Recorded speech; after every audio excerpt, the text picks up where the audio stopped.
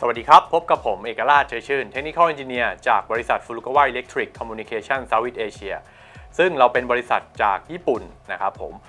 วันนี้นะครับผมจะพามารู้จักกับตัว Furukawa product นะครับจาก Furukawa Solutions ตัวผลิตภัณฑ์หรือว่าตัว product ในวันนี้จะเป็นตัวแพชช์ Panel หรือว่าอุปกรณ์ที่เอาไว้ใช้นะครับในกับระบบแลนหรือว่าระบบ network ของเรา เอาไว้รวบรวม การเชื่อมต่อหัว RJ45 หรือว่าที่เราเรียกว่า Keystone Jack ไม่ว่าจะเป็น Cat6 Cat6A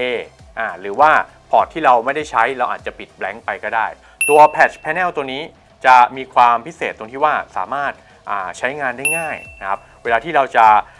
เอาตัวหัว connector ที่เป็น RJ45 เนี่ยมาใช้งานเนี่ยนะครับเราก็ลากสายมาใช่ไหมครับแล้วก็มา terminate หัวตรงนี้ จากนั้นเราก็แค่ปลั๊กมันเข้าไป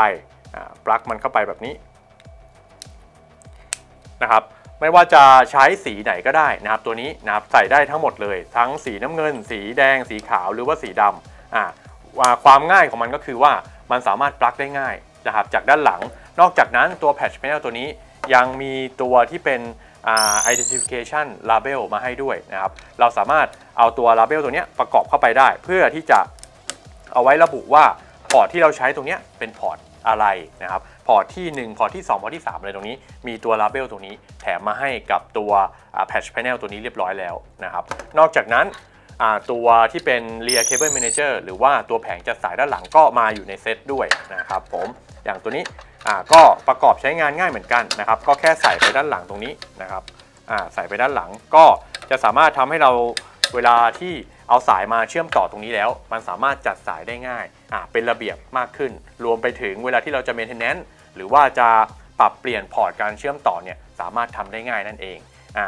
feature อีกสำคัญอีกประการหนึ่งของตัว Patch Panel ตัวนี้นะครับมันรองรับการอัปเกรดเป็น Smart Patch Panel หรือว่าการใช้ Patch Panel ที่สามารถควบคุมด้วยซอฟต์แวร์นั่นเองนะครับผม โดยที่เราสามารถถอดตัว Label ตรงนี้นะครับถอดออกได้เลยนะครับ แล้วก็เอาตัวที่เป็น Patch Panel ที่เป็น Smart Module เนี่ยนะครับที่มันจะมีตัวรองรับการเชื่อเชื่อมต่อแบบ NFC เนี่ยนะมาประกอบตรงนี้ได้เลยนะครับผมก็แค่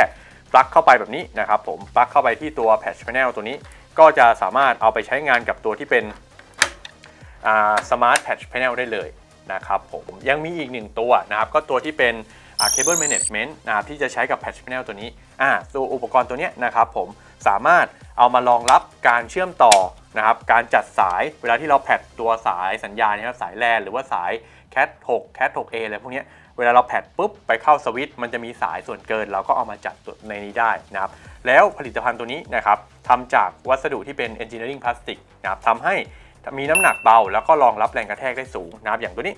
วลาที่เราปิดไปอย่างนี้นะครับไม่เคี่ยวไม่หักไม่อะไรพวกนี้นะครับเวลาที่จะเปิดใช้งานเปิดได้จากทั้ง 2 ฝั่งเลยนะครับจากบนลงล่างหรือว่าจากล่างขึ้นบนนะครับผมอันนี้นะครับอ่าแล้วที่สำคัญก็คือมันเป็นพลาสติกไม่นำไฟฟ้าอ่าอีกประการหนึ่งก็คือที่เราเคยเจอกันตัวแผงจัดสายเนี่ยมันจะทำจากโลหะใช่ไหมครับเวลาที่ใช้งานตัวแผงจัดสายที่เป็นโลหะเนี่ยหคือน้ำหนักมันเยอะนะครับน้ำหนักมันสูง 2 คือมันมันเสียรูปอย่างถาวรได้ แต่ถ้าเป็นตัว พลาสติกตัวนี้นะครับที่เป็น engineering พลาสติกตรงนี้จะไม่เสียรูปย่างถาวร เวลาที่เราจะจัดสายเนี่ยสายมันแน่น ๆ มันมันเบียดตัวแผงตัวนี้ใช่ไหมครับ เราสามารถจัดได้เลย แล้วก็เวลาที่เราดึงออกตัวพลาสติกตรงนี้มันจะคืนรูปนั่นเอง โอเคครับสำหรับใครที่ยังไม่ได้กดติดตามฟลูกาว่านะครับ